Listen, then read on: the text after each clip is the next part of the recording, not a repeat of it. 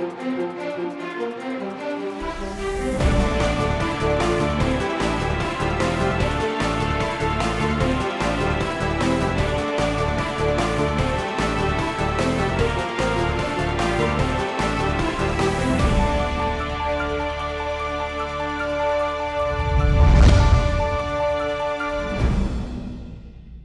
سلام سلام به شما عزیزان در ایران و دیگر نقاط جهان که در این ساعت به تماشای تفسیر خبر از شبکه تلویزیونی ایران فردا نشستید. جمشید چالنگی هستم. در ساعت یک بعد از ظهر واشنگتن بارانی با شما عزیزان خواهم بود. در ساعت نه و سی دقیقه شب تهران نیز. چون شماره های پیشین تفسیر خبر در این شماره از برنامه می‌پردازیم به آنچه که در عرصه داخلی ایران میگذرد و آنچه که در عرصه بین المللی و منطقه‌ای در ارتباط با ایران و مردم ایران در جریان است. فساد مالی در جمهوری اسلامی ابعاد گسترده تری یافته است. اجرای عدالت در حکومت فقیه خودی و ناخودی دارد. سعید مرتضوی متهم به قتل از سوی افکار عمومی متهم به قتل زهرا کازمی متهم به اختلاس های کلان به پنج سال زند... انفصال از خدمات دولتی محکوم شده است. در حالی که در حکومت فقیه کسانی که به دزدی های کوچکی از سر ناچاری دست زدند قطع عضو شدند. آن سوتر از پرونده های دیگر فساد مالی رسیدگی به این پرونده ها خبری نیست و پیامدهای کاهش قیمت نفت در ایران نفت در بازار جهانی همچنان رو به کاهش دارد علی شمخانی دبیر شورای امنیت ملی ولایت فقیه می‌گوید بین ایران و عربستان جنگی نفتی در گرفته است. با من و شما هستن در استکهلم آقای کوروش اعتمادی پژوهشگر و تحلیلگر سیاسی و در ترکیه.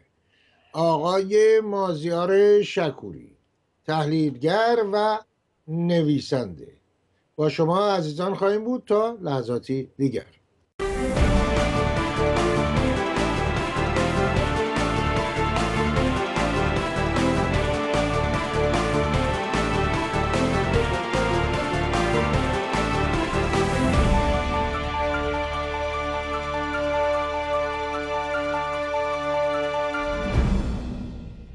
آقای کوروش اعتمادی عزیز پس از مدت تا بار دیگه با من و شما هستن. سلام به شما و خوش آمدید.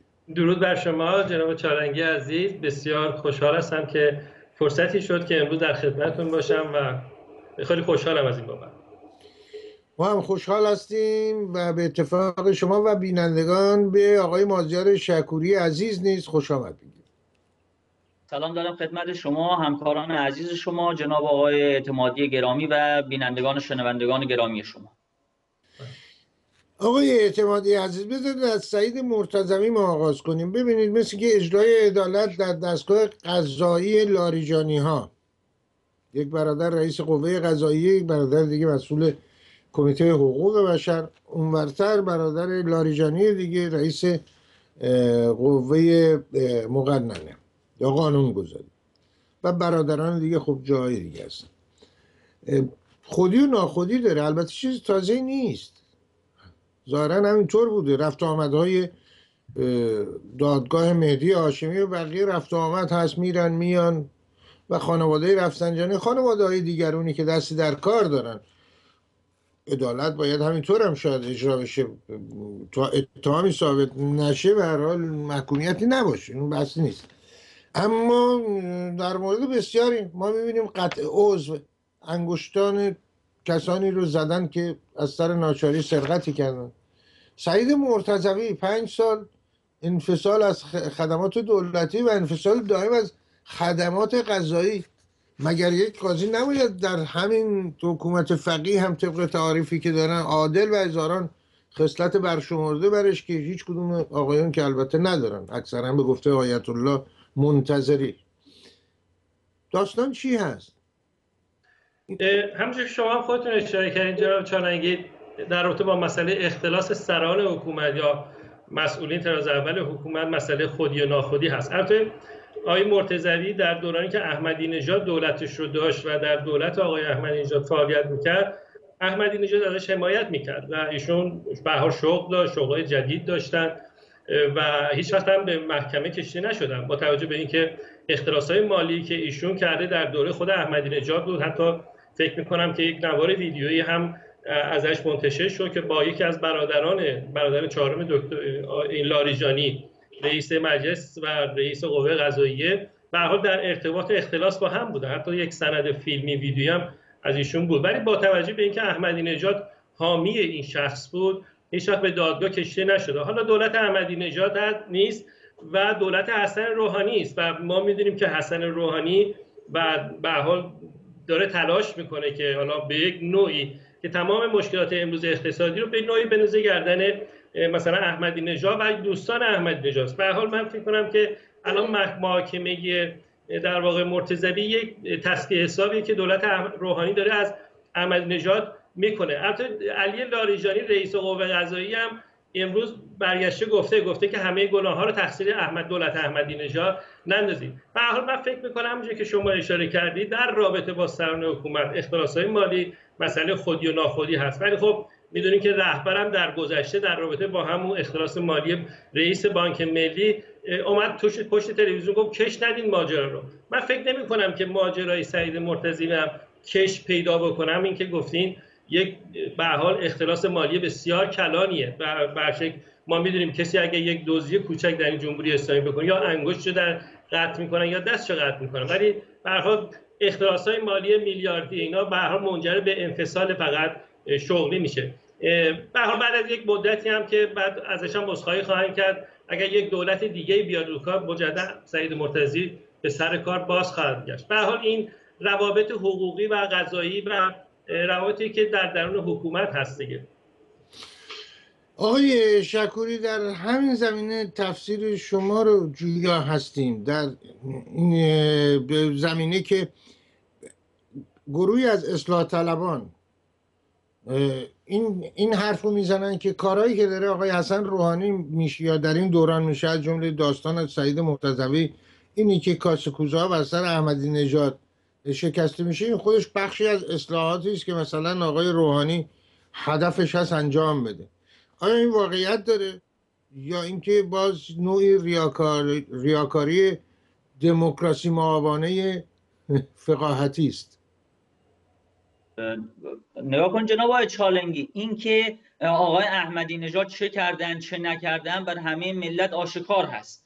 اصلا فسادهای جمهوری اسلامی برعکس فسادهای دیگر رژیم های سابق ایران یا رژیم های استبدادی دیگر این گونه هستش که همه رژیم ها می روند بعد این فجایعشون افشا می شود اینها الان که هستن تاریخشان دارد نوشته می شود بنابراین لزومی ندارد که آقای مثلا روحانی یا برخی از اصلاح طلبان ملی مذهبی ها هر روز بیان بگویند در دولت احمدی نژاد این دزدی شده اون دزدی شده. ملت هم رو می‌دونن. در اینهاش هیچ گونه شکی نیست و این یک فرار به جلوی هست. کما اینکه آقای روحانی به جای اینکه بیاید بگوید آقای احمدی نژاد اومدن یا اطرافیان ایشون دولت ایشون اومدن همه چی حرکتی کردن اینها باید کل رژیم ولایت فقیر را نقد کنن. چون این فسادها در ساختارهای حکومتهای خودکام و اقتدارگرا رویش می‌کنن. سیستمشون همین است. ایدئولوژی که دارن اون همین رو می‌خواد. رویش اینها در فساد است و خودشون هم فساد رو می‌خوان.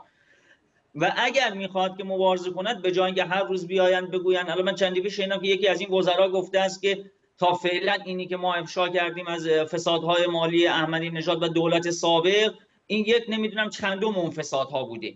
اینو دیگه همه می‌دانن اگر واقعا می‌خوان که برخورد کنن بهتر این هست که رئیس جمهور بیاید لوایحی رو تقدیم مجلس بکند از حقوقدان ها هم کمک بخواهد از دیگر صاحب نظران کمک بخواد تا بتوانند این سیستم را ترمیم کنن که البته ترمیم شدنی هم نیست. منتها اگر واقعا نیت پاک دارن می‌خوان اراده خودشون را در این زمینه نشون بدن این را اصلاح کنن که همه چین سیستم های نفوذ هایی نباشد که هر کسی بتواند در اونجا بیاد و سوء استفاده کند. این اصل قضیه هست. و این همون فرار به جلو هست. بله. ایشون میفرمایند آقای شکوری که بیان و یه لوایه به مجلس بدن و مجلس تصویب کنه برای مبارزه با فساد این کارهای اقدام کنن. منظور شما این بود دیگه. درسته؟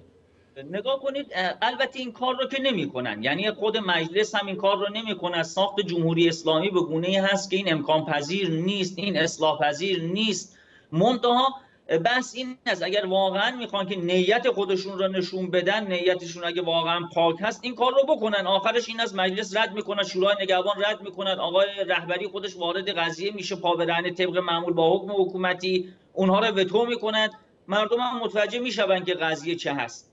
بله. بس اینه که آقای روحانی و امثال ایشون الان دارن فرار به جلو می‌کنن. فقط می‌خوان مشکلات رو بندازن. گردن آقای احمدی نژاد و یک علتش هم اینه. در این نظام هایی که یک نفر رأس قدرت قرار می‌گیرد و می‌خوان به اون تقدس ببخشن بحث این است. مشکلات رو بندازن گردن دیگران بگوین که نه اینی که این بالا نشسته حالا شاه هست حالا چه می‌دونم ولی فقیه هست این یکی پاک هست. از این یکی می‌خوان مشکلات رو مبرا کنن. خب چه اگر هم چنین بشه آقای اعتمادی لایه تهیه بشه به مجلس داده بشه. آیا این مجلسی هستش که نگران به اصطلاح فساد هست. حالا که همین خود آقای مرتضوی همین مجلس رو متهم کرده که گفته آقا دیستش در جیب من هست به کسانی که در این مجلس هدیه داد. کاملا. ببینید جناب چارنگی این به قول آقای مازیر شکوری یک نظام استبدادی تمامیت خواه و تمام نهادهای سیاسی اقتصادی و قانونگذار این حکومت به هم اتصال هستند. و شما به هر نهاد این حکومت اگر مراجعه کنید از سپاه گرفته بیت رهبری گرفته قوه مقننه قضایی اجرایی. به حال در درون این نهادهای سیاسی و به حال فرهنگی یا اقتصادی یا مقننه باندهای حکومتی به حال نقش دارن نقش اساسی ایفا می‌کنن که اینها در طی این 36 سال فقط با اختلاف و تفاوت ثروت های ملی مردم و هر روی زندگی دارن می‌کنن. یعنی هر بخشی از اینها رو اگه شما برین جستجو کنیم پرسجو کنیم و بررسی کنیم می‌بینیم که دیگه بخششون در فساد مالی به حال دستشون یا آلوده هستن. از بیت رهبری گرفته به حال تا قوه مقننه قضیه. من فکر نمی کنم که به هر حال اگر بیان مجلس در این مجلس قوانین رو بگذارن برای رفع اختلاس مثلا مالی مثلا خب برید شما ببینید بانک ها چیکار دارن. و همین چند روز پیش به حال وزیر اقتصاد آقای خود روحانی گفتش که دوازده میلیارد دلار یا دوازده هزار میلیارد تومن بانک ها اختلاس کردن و وزیر دادگستریشون میاد میگه که آقای بابک زنجانی به عنوان یک فرد که با دولت احمدی نژاد ارتباط داشته فقط 7 میلیارد دلار یا 8 میلیارد دلار اختلاس مالی کرده و این پول ها رو مملکت خارج کرده و کسی قادر نیست یک دلار از این پول ها رو به حال برداشت بکنه یعنی شما هر کجای این بله. حکومت رو در نظر بگیرین در فساد مالی است و من فکر نمی کنم که اساسا یک تصویب یا چند قانون در قوه قضاییه یا قوه مقننه بتونه در واقع از این فساد مالی که این رژیم سرتاپا با آن دوچار هست رو به پاک کنه. آقای شکوری تصویب چند قانون در چنین مجلسی نمی‌تونه مسائل رو حل کنه؟ حرف آقای اعتماد. بله نمی‌تواند. این بحث ما این نبود که می‌تواند. نه این مجلس هم خودش از همین ساختار هست مسلم نمی‌تواند. اصلا یک اراده فایدهش فقط این است. بس این است. اگر واقعا آقای روحانی و امثال ایشون و اصلاح طلبان نمی‌خواهند رو به جلو فرار کنند نمی‌خواهند مردم را بفریبند حداقل یک همچین کاری بکنن که مجلس میاد اون لوایح را رد می‌کند یا شورای نگهبان رد می‌کند یا بعد خود آقای خامنه ای طبق معمول بدون کفش دمپایی وارد معرکه میشن موزه گیری می‌کنن و اونجا دست اینها رو بشود یعنی بیشتر از قبل رو بشود و الا باز فایدهش چیه؟ باز همین که دست ها بیشتر رو بشود فایدهش برای خانواده ای که در برازجون فقیر هست خانواده ای که در سیستان و بلوچستان کودکان نازنین بلوچ کودکان نازنین کرد دارو ندارن و نه این ها رو دنبال می‌کنن. حقشون تبدیل به دلار شده در حسابهای باندهای حکومت. فایده این کار اون وقت برای اونا چیه؟ دستشون رو بشه بیشتر. بیش از این؟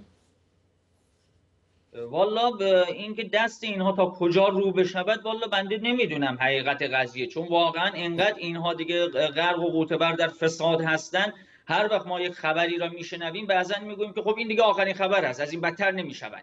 یه چند دقیقه نگذشته ما می‌بینیم یه خبر جدیدتری میاد که اون قبلی پیشش واقعا دیگه هیچ هستش.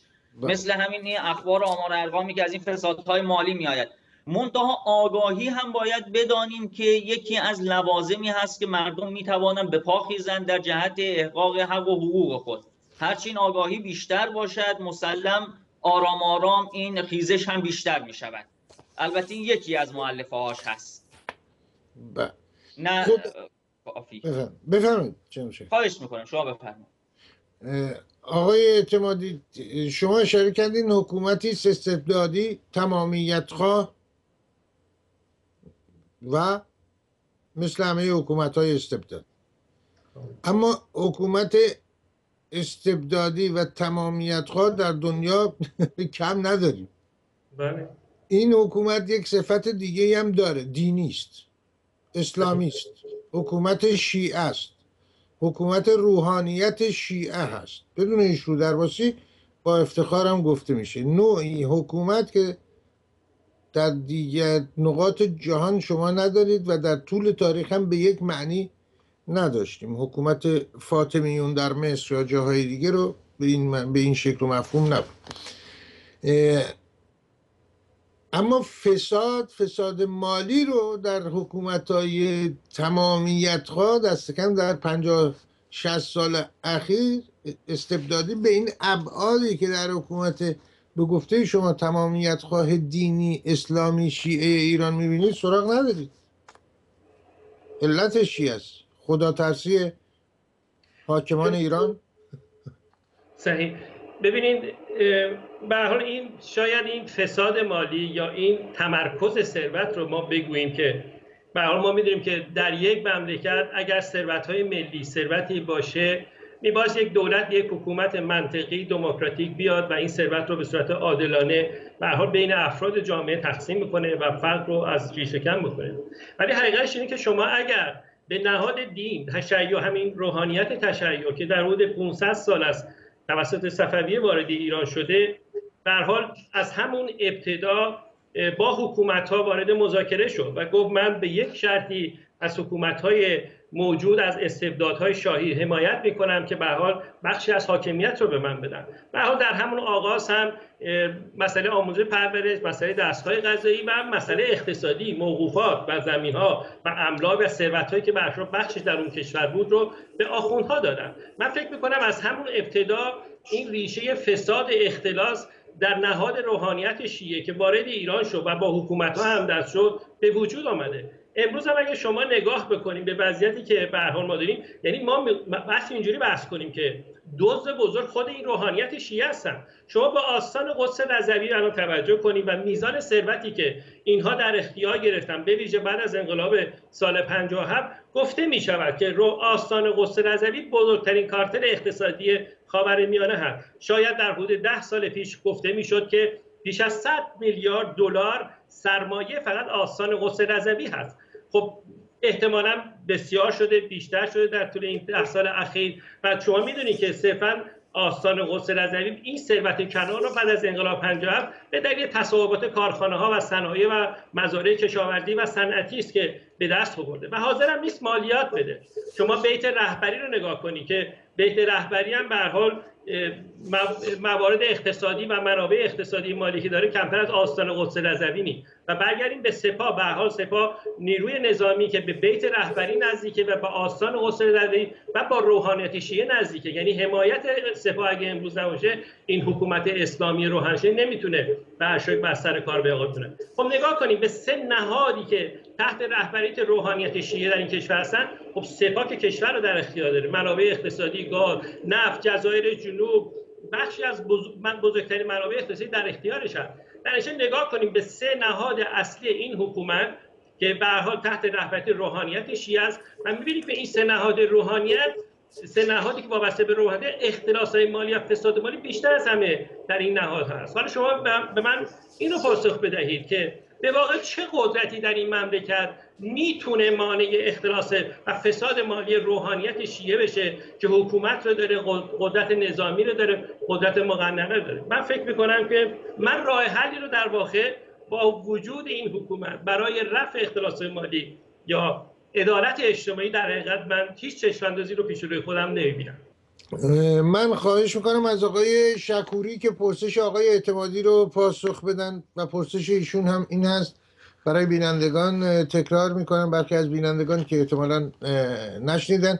این هستش که چون این فسادی رو در حکومت روحانیت شیعه که ابعادی گسترده و قدرتمند پیدا کرده چه نیرویی می‌تونه پایان بده؟ آقای بله، شکوری خواهش می‌کنم بفرمایید. بله ابتدا ارز کنم که این فرمایش جناب آقای اعتمادی صحیح است در داخل این نظامی ساخت قدرت که هیچ گونه امیدی واقعا نیست.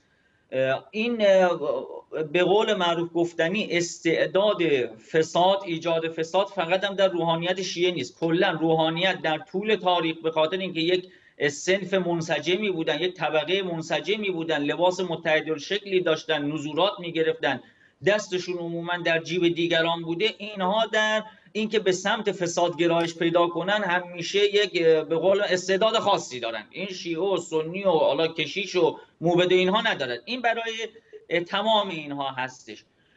یک موضوع این از موضوع دیگر هم بازم برمیگردد به همین قدرت های خودکامه و ایدئولوژیک. و نگاه کنید وقتی که ایدئولوژی وارد یک حکومتی می شود هر عقیده دینی غیر دینی ضد دینی هم ندارد. واقعیتش این است.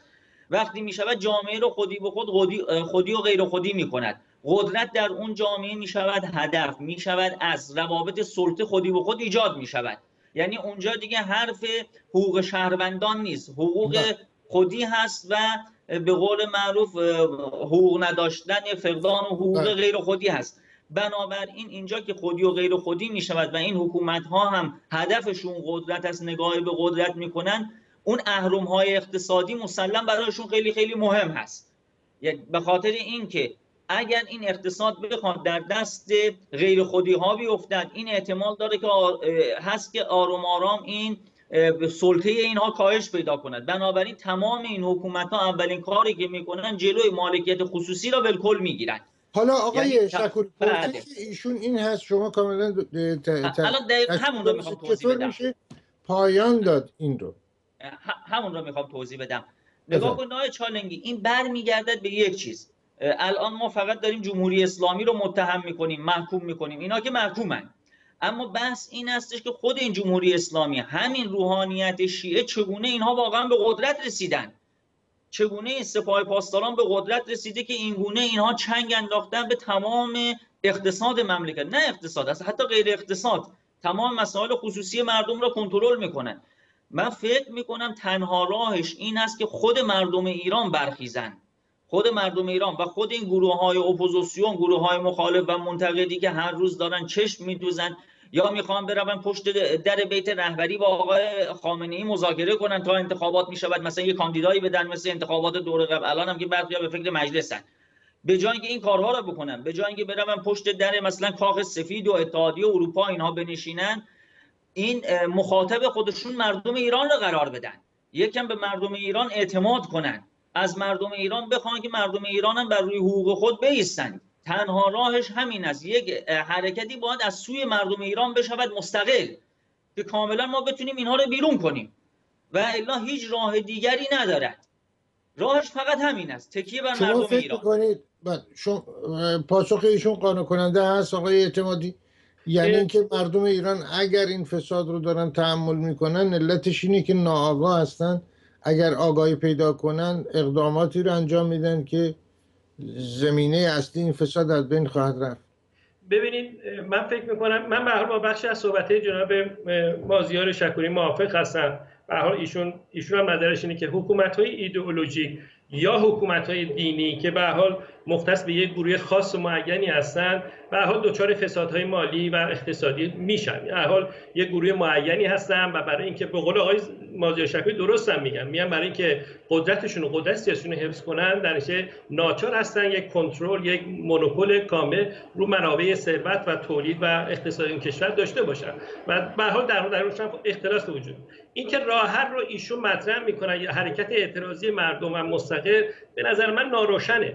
ما باید مشخص کنیم که وقتی که ما به این نتیجه می‌رسیم که به واقع در درون حکومت هیچ راه حلی نیست برای بهبود شرایط وضعیت امروز جامعه ما. به حال اعتراضات اجتماعی یک آلترناتیو. ولی این اعتراضات اجتماعی این حرکت های اعتراضی میباید هدفمند باشه. یعنی اینکه جانشین این حکومت میباید چی باشه؟ ما نمیباید اون تکرار اشتباهی که در سال 57 در ایران انجام شد رو مجددا انجام بدیم. یعنی ما باید بدانیم که اگر ما علیه این حکومت قیام می‌کنیم به پا میخیزیم جانشین این حکومت چه نوع روابط سیاسی چه نوع روابط و سیستم سیاسی و اقتصادی میبایست باشه. این به نظر من باید روشن بشه. اینکه مردم مستقل عمل کنن به پا خیزن به نظر من ناکافی ناروشنه. اینکه ما باید چه چیزی رو جانشین این حکومت بکنیم که از این وضعیت فلاکتباری که امروز مردم از جامعه بهش دچار شدن بیرون این به نظر من قابل بحث و قابل تعمق است. تفسیر شما اگر نظری هست و نه این پرسش که خیلی هم معتقد هستن که این حکومت رو میشه اصلاح کرد. چه در داخلی حرف می‌زنن آقای شکوری چه در بیرون؟ از آقای شکوری این پرسش دارم. با بله. صحبت آقای اعتمادی اگر صحبتی دارید بفرمایید وگرنه این پرسش رو من داشتم از شما. بفرمایید. والا این که جناب آقای اعتمادی فرمودن کاملا صحیح هستش. بله ما بایستی فکر آلترناتیو باشیم برای نظام سیاسی آینده و همه اینها مشخص باشه که از لحاظ قانونی ساخت قانونی حقوقی می‌خواد چگونه باشه از لحاظ اقتصادی چگونه باشد تفکیک قوا در اونجا چگونه باشد. این کاملا صحیح است. منتها این رو بنده به صورت کلی عرض کردم که ابتدا خود نیروهای مخالف و منتقد حاکمیت باید این تصمیم رو ابتدا بگیرن. یعنی کلیت این قضیه که حرکت باید از بطن مردم ایران شروع بشود و اینها هم هی نرون با آقای خامنه ای مذاکره کنن هر ساعت پشت اون در بیت رهبری اونجا چارزانو بشینن. بعد اون آقا بزنه دهن اینا بگوید خفه این غلط اضافه به شما نیامده که همیشه همین کار رو می‌کند با این مجید انصاری و اینها که می‌روند اونجا یا برخی ها هر روز نامه بنویسن به کنگره نمی‌دونم امریکا و کاخ سفید و من چی می‌دونم این اتحادیه اروپا اینا. اینها مشکل نیست. ابتدا خود این نیروهای مخالف و منتقد این تصمیم رو باید بگیرن اعتماد کنن آقا به مردم ایران. واقعیت هم این از مردم ایران تا یک حد و حدودی روشن هستن. این نیست که ما بگیم آقا جاهلن. به مردم ایران ولی مردم ایران اعتماد نکنن به اونها چی؟ خب نگاه کنید آقای چالنگی بنده یک مورد رز کنم. نگاه کنید الان واقعیتش این از خیلی از مردم دیگه ما در ایران بودیم سه ساله که ما از ایران خارج شدیم. خیلی ها فرزندان خودشون را اجازه نمی‌دادن فعالیت سیاسی کنن. این یک واقعیتیه. مردم ایران ترسی که دارن این نیست که آقا بگیم بزدلن یا خدای ناکرده می‌خوان که ناحق سر کار بمونن. نه. اینقدر از همین روشنفکران از همین فعالان سیاسی شما این تاریخ احزاب رو وقتی آدم می‌خونه این تاریخ روشنفکران رو آدم می‌خونه در همین یک قرن اخیر چقدر این مردم از اینها نامردی دیده باشن خوبه. خب این مردم اعتماد ندارن مسلم. دلیلش هم همینه. شما هر کی رو نگاه می‌کنی یا وابسته است یا جاسوس هست یا نمی‌دونم سر بزنگا آمده پشت خالی کرده طرف حاکمیت رو گرفته.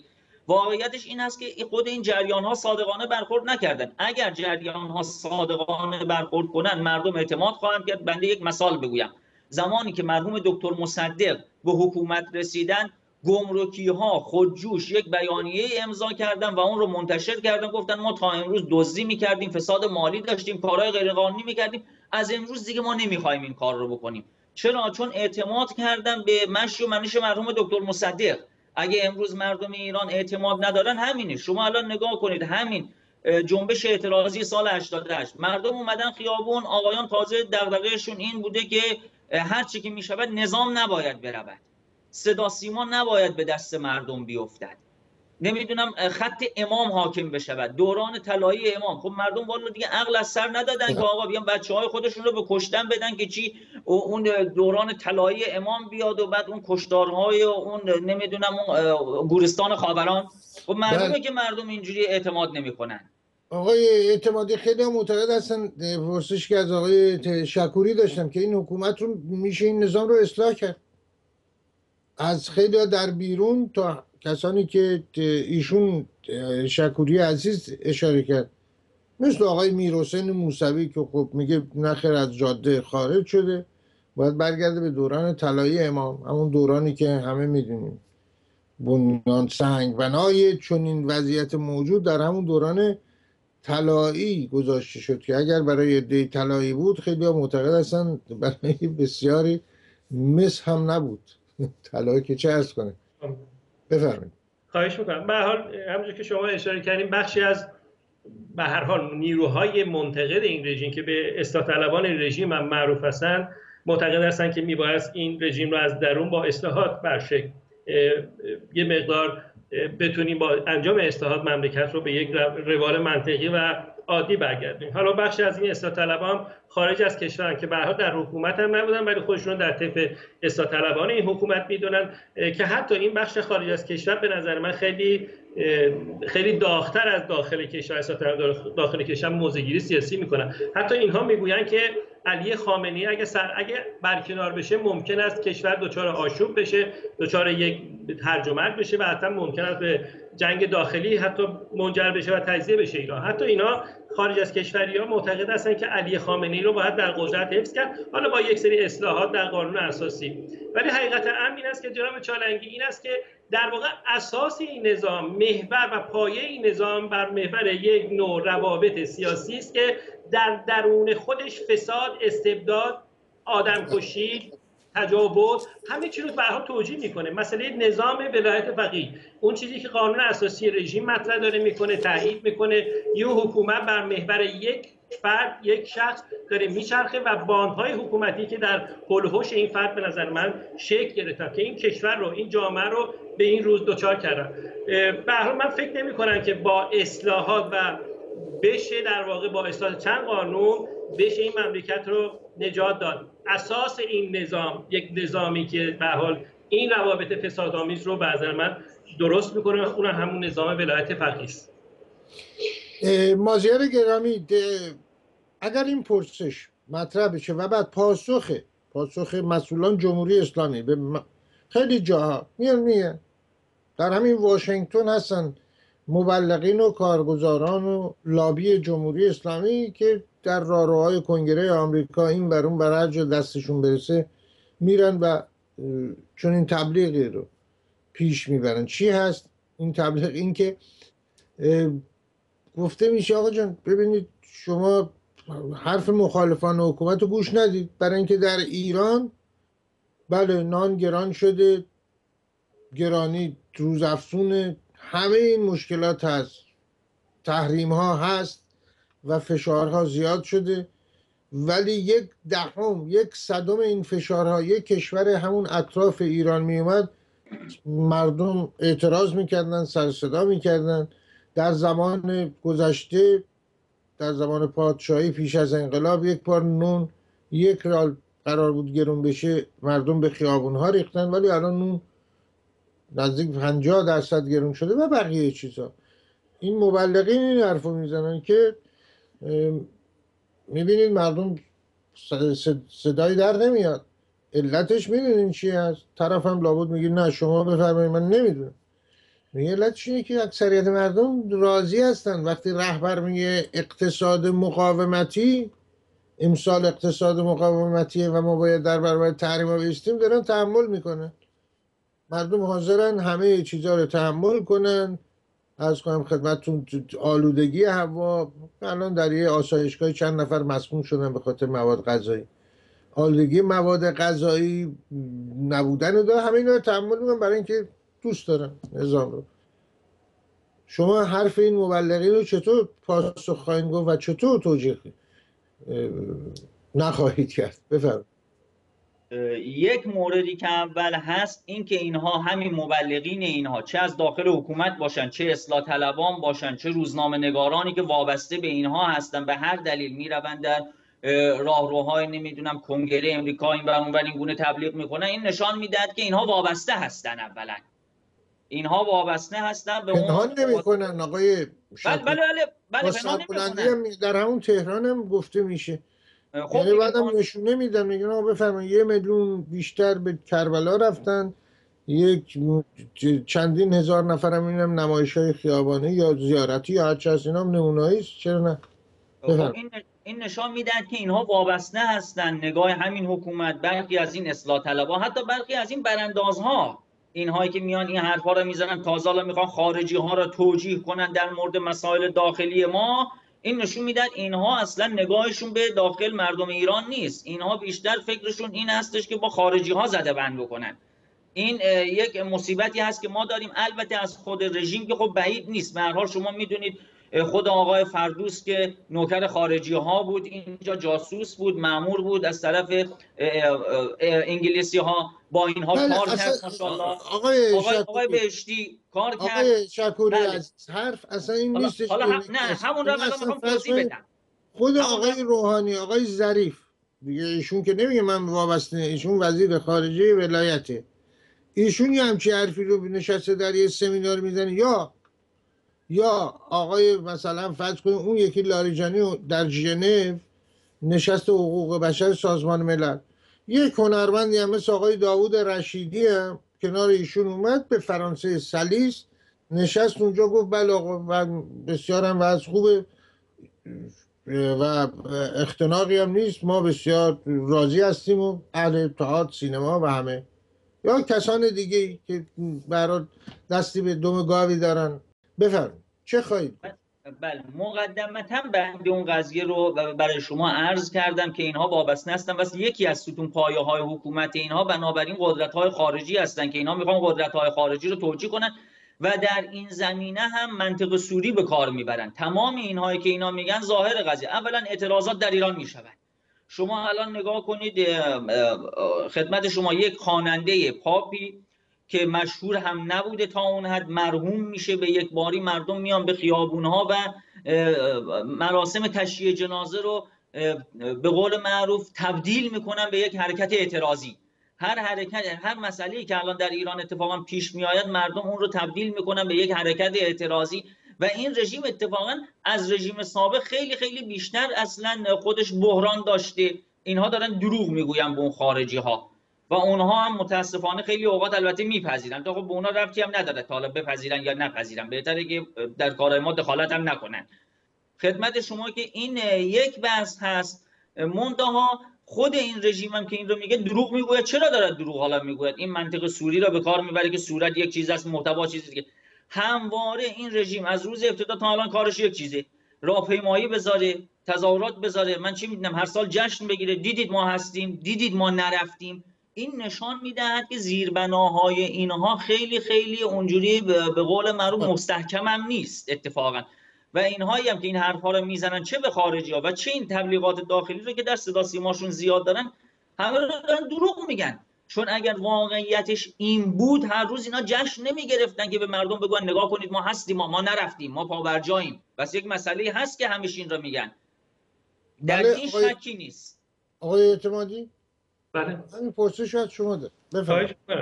ببینید جناب چارنگی شما تاریخ تمام حکومت های ایدئولوژیک و یا به حال مذهبی که بخشن حکومت های ایدئولوژیک هستن رو به حال مشاهده کنیم می‌بینیم که این حکومت آقای اعتمادی این تاریخشون خیلی عمر ما کفاف نمیدن که از اولم شروع می‌کرد الحمدلله در این کره خاکی از این حکومت ها خیلی بوده و هست. من, من به چند مورد دوره حالا دوره معاصر اشاره می‌کنم. از حکومت های فاشیست در ایتالیا یا نازیست در برشک آلمان یا حکومت های مذهبی و دینی ایدولوژی مثل خودمون. اینها به حال یک دست تبهر بسیار قوی دارن.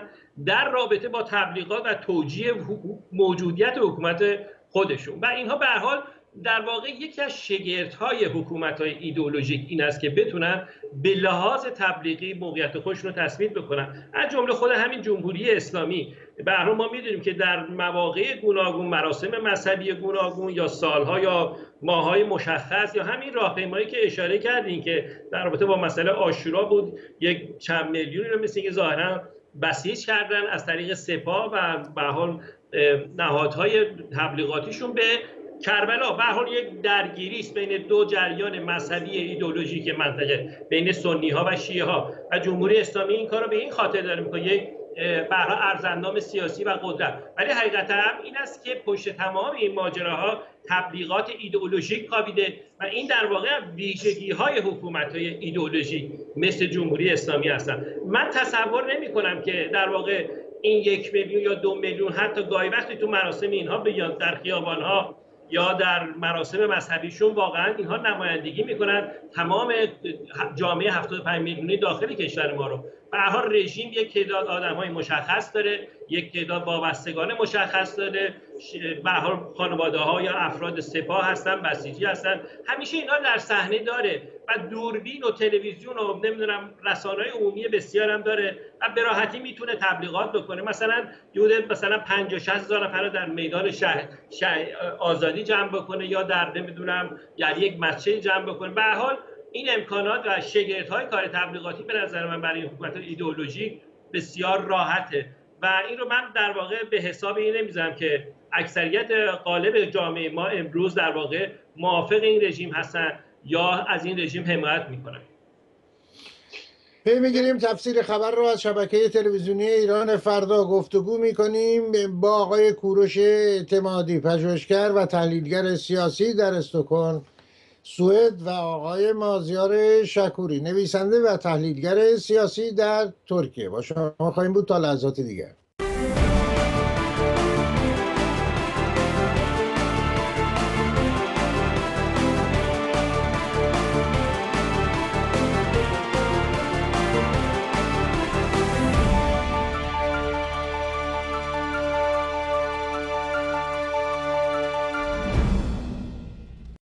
من پیش از پرسشم از آقای شکوری می‌خوام این ویدئویی رو که دیدیم با هم بار دیگه ببینیم.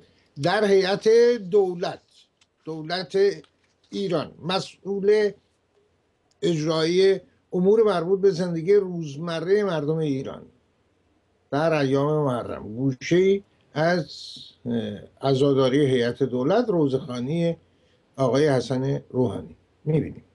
وقتی هم که امام حسین بالا سر قمر بنی هاشم آمد گفت الیوم نامت اعینون بکلم تنم و تصحدت اخرى فعز منابها گفت عباسم اون چشمایی که دیشب از ترس تو خواب نداشتن امشب دیگه خواب راحتی خواهند داد اون چشمهایی که در پناه تو استراحت کردن امشب دیگه براشون خواب راحتی نخواهد بود. خب ببینید البته بگذاریم از اینکه آقایون به مناسب و سمت هایی که رسیدن از جمله آقای روحانی ریاست جمهوری و جاهای بالاتر حرفه پیشین خودشون که در بین مردم هم مقبول بود روزخانی رو عملا چندان مایل نیستن ادامه بدن.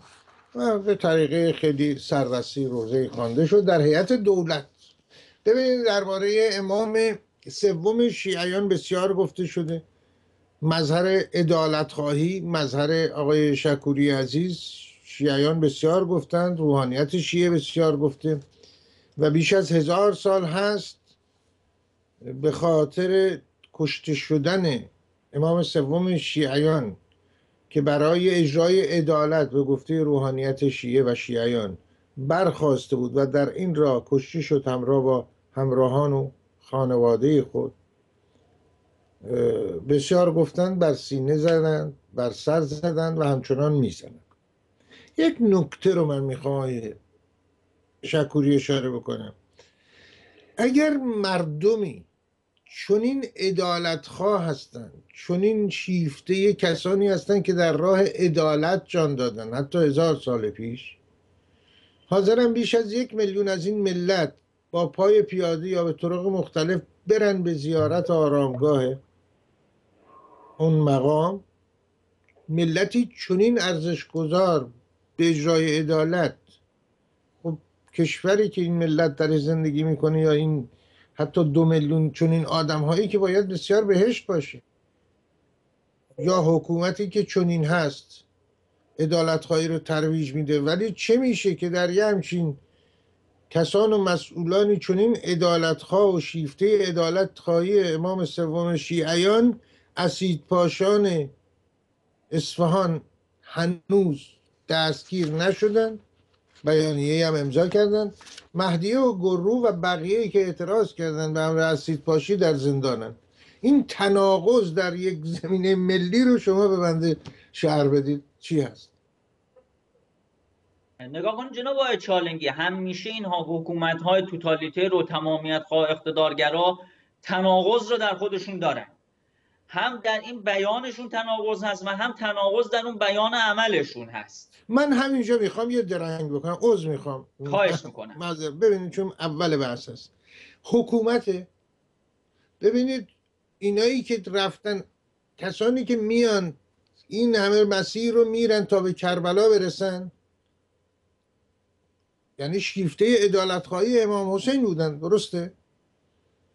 اینا چرا اعتراضی ندارن که بالاخره این ادالتخواهی تو همین اصفهان الان که دم دست چرا اجرا دنبالش نیستن. این عده. نگاه کنید جناب چالنگی من یک اشاره ای بکنم به آشورای 88 شما در اون آشورا دیدید که تهران در تسخیر مردم بود کشور در تسخیر مردم بود و شعار مردم این بود که خامنه ای یزید یزید روسفیده. بنابراین تا این حدم این گونه نیست که مردم در به قولن تقلا برای به دست آوردن عدالت نباشن. اتفاقا هستن. منتها خب یک علل دیگری هم داره که مردم رو عرض کردم. یک کم مردم اعتماد هم ندارن. کما اینکه تمام اونهایی هم که الان پای برهنه پا شدن رفتن تا اون مرقد امام سوم شیعیان که اتفاقا بنده خودم هم احترام قائلم ارزش قائلم معتقد هستم. منتها خب اینها یک کار غیر ضروری کردن رفتن. ابتدا باسی به فکر داخل مملکت باشن. چون یادگر اون چی که باید از اون امام هم یاد گرفت همون ایستادن بر حق است. به دست آوردن حریت است. به دست آوردن عدالت هست این یک موضوع است. موضوع دیگرم خدمت شما عرض کنم. نگاه کنید آقای چالنگی. این یک عده‌ای که با اینها می‌روند نیروهای خود اینها هستند. یعنی عده ای رو اینها همیشه سازماندهی می‌کنن به دنبال خودشون از داخل کشور راه میاندازن. الان هم که هلال شیعی تشکیل دادن در دوربر مرزهای ما هم این کارها رو می‌کنن. از عراق می‌برن مسلم از لبنان می‌برن از بحرین هم اگه دستشون برسه می‌برن شیعیان رو تا خود همونجا. مسلم از صوفیه هم که اعتقاد دارن صوفیه اهل سنت به این مسائل از اونها هم می‌برن متاسفانه. اما اون چیزی که برخی ها به دنبال اینها افتادن در یک مورد با شما موافقم برخی ها اون پیام اصلی رو فراموش کردن و اونم دلیلش اینه که اینها به نسبت به اون قیام نسبت به کل دیانت اون بینش رو هنوز ندارن. واقعیتش این هست. یعنی هنوز طرف یه چیز سمبولیک می‌دونه یه چیز آبا اجدادی می‌دونن. اینها رو یکم باسی تفکیک کرد. و هر حال توده های مختلف مردم اینجا تقسیم بندی میشن. ولی من ضمن احترام برای همه ادیان. من همه هدفم این هست که این مسئله رو فهم کنم آقای اعتمادی. بفهمم واقعا این تناقض هست یا نیست. شایدم شایدم این کسان چنین فکر می‌کنن که اجرای عدالت همینه. همینه که مثلا مهدی گلرو در زندان باشه و بقیه معترضین اسید پاشان هم که رفتن خب یک تکلیف الهی خودشونو انجام دادن. اسید پاش جوان یا غیر جوانی که نشسته پای منبر و بارها شنیده که مثلا این تار موی زنان اگر بیرون باشه عرش سوم یا چهارم یا یکی بالاخره از این عرشا به لرزه در میفته در به لرزه در میاد خب معمولیت پیدا می‌کنه که بره و مانع لرزش عرش بشه دیگه. کاملا. ببینید جناب چارنگی به حال ما می‌دونیم که حالا نه نه اینکه حالا بگیم اسلامگرایان یا شیعیان یا سنیا به حال این این روحیه این منتال این ویژگی های روحی روانی در تمام افرادی که به حال در ادیان مختلف یا در سازمان ها و حکومت های ایدئولوژیک هست وجود داره. یعنی کاملا یک استیصال رو ما در این افراد می‌بینیم. مرعوب یک یه همیشه یک رهبر اون بالا هست.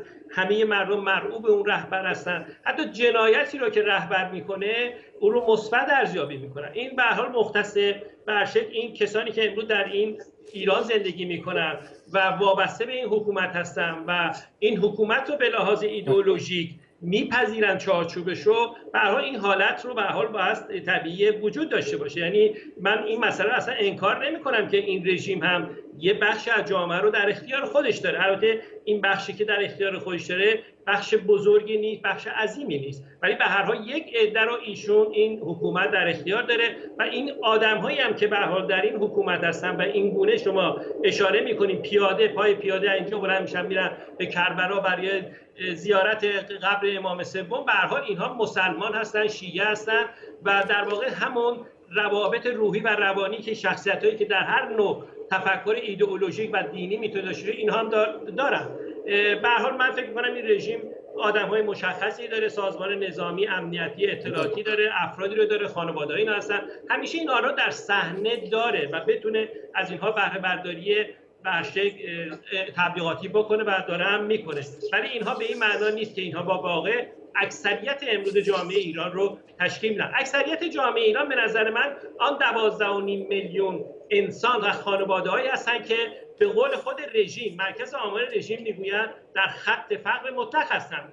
از نظر من مردم ایران آن پنج میلیون بیکاری هستن که به واقع به نان شبشون محتاج هستن اکثریت مردم ایران مردم بلوچستان هستن که شما می‌دونید که به لحاظ فجایع اقتصادی که در اون مملکت داره رخ میده آن منطقه آن استانی که در کشور ما هست بسیار برای ما حساس هست برای دفاع مرزهای ما خالی از سکنه داره میشه در من فکر می‌کنم اونها در صحنه نیستن بلکه آن مرعوبین دین اسلام مرعوبین بله. رهبر امروز بلد اینا هستن که به نظر من در عرصه مبارزه هستن در از زمان روحانیت شیعه حتی شنیدیم که در وصف خلیفه مسلمانان عمر ابن خطاب گفتن که در مجلسی که صحبت می‌کرد که من به راه راست خواهم رفت و کسی از پای منبر برخواست و گفت اگر به راه راست نری با این شمشیر کج رو ما به راه راست خواهیم.